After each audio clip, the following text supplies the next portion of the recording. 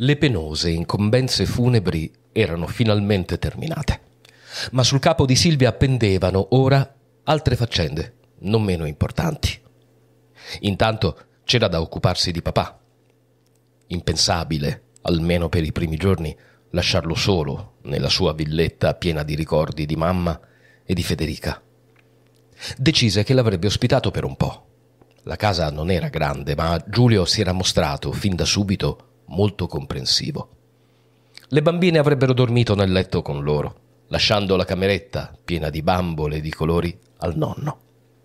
Con calma avrebbe poi affrontato tutte le questioni pratiche. La successione, la casa di Milano, gli oggetti personali di Federica, le pratiche legali e assicurative, l'automobile.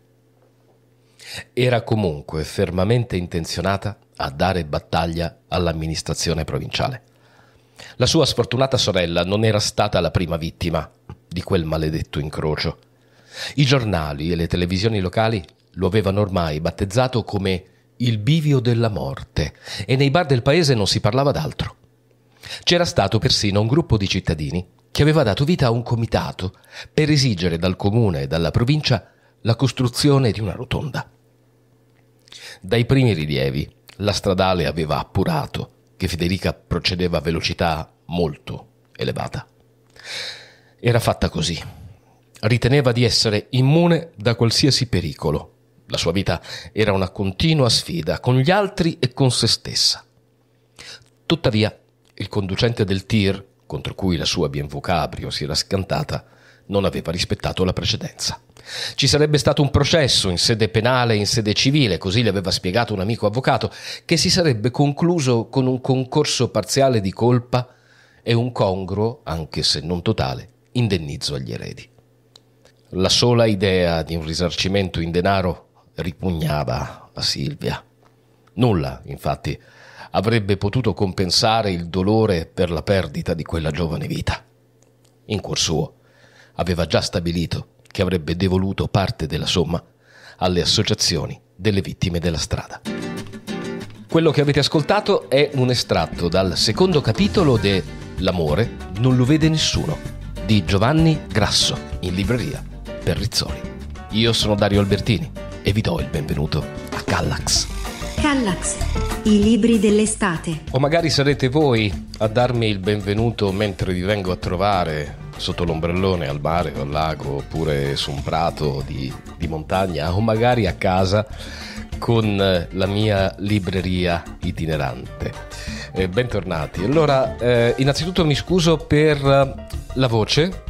Andando in giro col mio carrettino, col mio furgoncino, con eh, i vetri sempre aperti, beh, passo dal sole all'ombra e paradossalmente in piena estate sono stato colpito da questa entusiasta costipazione che rende la mia voce un po' ruvida e il respiro più evidente. Respiro che mi si è spezzato più volte a parte per uh, il raffreddore, eh, durante la lettura di questo libro. L'amore non lo vede nessuno di Giovanni Grasso, avete sentito? L'ho detto poco fa, lo trovate in libreria per Rizzoli. Eh, perché mi si è spezzato più volte? Allora, innanzitutto perché eh, il titolo mi eh, ricordava qualcosa. Sì. Perché il titolo è una citazione dal discorso 34 di Sant'Agostino. Sono poche righe e ve le leggo. Oso dire una cosa alla vostra carità, Osserviamo nelle cose inferiori ciò che dobbiamo riscontrare nelle superiori. Lo stesso amore basso e terreno, lo stesso amore sudicio e delittuoso che si attacca alle bellezze del corpo, ci offre un qualche richiamo per elevarci alle cose più alte e più pure. Ecco un uomo lascivo e disonesto che si innamora di una bellissima donna. Il movente è, è vero, la bellezza del corpo, ma quello che si cerca è lo scambio interno di un amore.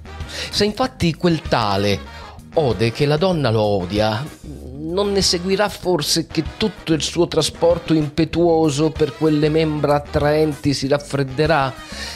Da ciò che mirava ad avere in certo qual modo si ritrae, si allontana e, offeso, comincia anche a odiare ciò che amava.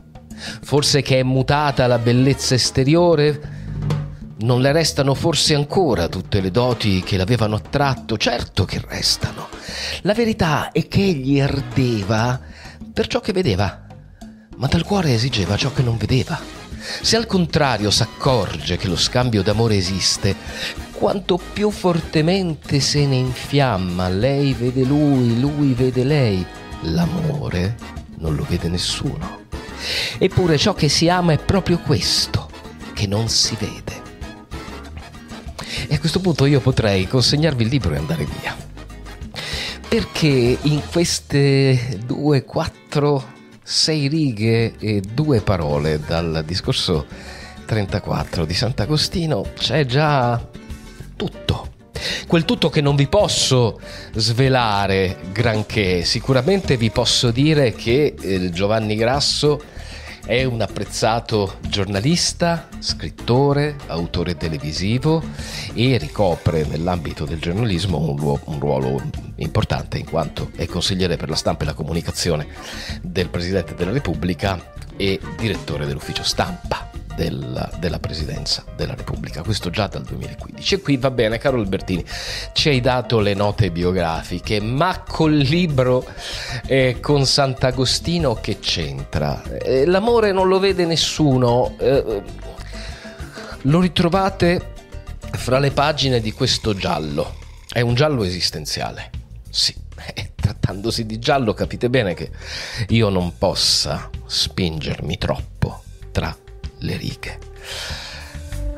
Però chiedo aiuto al, già al testo, a ciò che vi ho letto. C'è una ragazza evidentemente che non c'è più, Federica, e c'è sua sorella Silvia. Poi c'è un uomo, un uomo misterioso. Un uomo misterioso che eh, si incontra con Silvia tutte le settimane in un certo luogo. E lì parte un racconto. Quest'uomo ha qualcosa a che vedere con Federica. Mm? È facile. Ci sarà stata una storia. Beh, non mica vi posso prendere in giro o nascondermi dietro un dito. Sì, c'è stata una storia. Parliamo di amore. Lo dice il titolo che parliamo d'amore. Lo dicono le righe di Sant'Agostino che vi ho letto, che parlano di sostanza, di percezione, di amore che nasce fum, per una vampata e poi può arrivare la doccia fredda. Eh? Io sono più prosaico, evidentemente, di Sant'Agostino e anche di Giovanni Grasso. Ci sono due visioni d'amore in questa vicenda. C'è l'amore, quello degli amanti, hm? c'è l'amore degli amanti, quello che uno dei due protagonisti di questo dialogo considera l'amore per eccellenza perché non ha sovrastrutture, è difficile da gestirsi, però è, è libero, è intenso, è, è proprio il cogliere la bellezza nelle sue varie forme per quella che è, e dall'altra parte invece c'è eh, l'amore, quello vogliamo chiamarlo tradizionale? No, non mi piace. C'è l'amore come lo intendiamo nel momento in cui, avendo cercato per una vita, magari la cosiddetta anima gemella, riteniamo di averlo trovata. Tro- trovata, sì, esatto, detto bene. E, eh, oppure è arrivata per caso. Io conosco una coppia, grandissimo amore, eh, che è, è, è, si è creata per magia da un incontro casuale su un autobus che tutte e due hanno preso chissà perché per andare in un certo aeroporto. Quindi, e, e, poi, e poi c'è il consolidamento. Quindi abbiamo un amore di un genere da un lato, abbiamo un amore di un altro genere dall'altro, abbiamo una forte, una forte presenza di uh, narcisismo. Mm? Sarà patologico? Mm? Oppure no? Sappiamo di certo che a confronto ci sono due sconosciuti. Quale sarà dei due il narcisista? Eh, non ve lo dico mica, lo dovete scoprire. Dovete scoprire quello che quest'uomo eh, svelerà a Silvia. Eh, scoprirete anche quale patto abbiano stretto, sì, perché si raccontano tutto, eh, ma c'è un patto. Volete giusto un'anticipazione perché avete capito che non so resistere alla tentazione di darvela? È un patto di riservatezza, quasi banale, no? Eh, però sì, c'è questo. Uh, ho parlato con delle persone che lo hanno letto prima di me. Qualcuno uh, è d'accordo um, con le mie sensazioni. È avvincente Avvincente non vuol dire che eh, quello che leggerete vi evocherà le immagini di un film d'azione, ma è avvincente per le dinamiche psicologiche che si, si incalzano l'una con l'altra.